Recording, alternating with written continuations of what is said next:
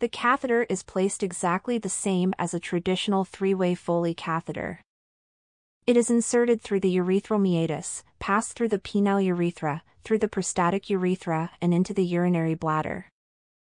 The balloon is inflated and seated at the bladder neck. The catheter has a keyed lumen that corresponds to a groove along a separate sheath that is then inserted through the catheter.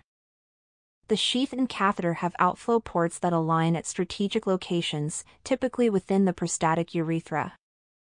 When the sheath is inserted and locked into place within the catheter, a hemostatic flowable agent can then be injected through the sheath.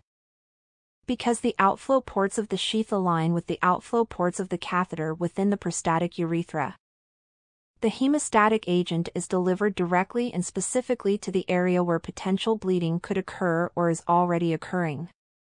In another version, the outflow ports are located within the bladder to control bladder bleeding. And in another version the ports are both in the prostatic urethra and bladder to control prostate and bladder bleeding.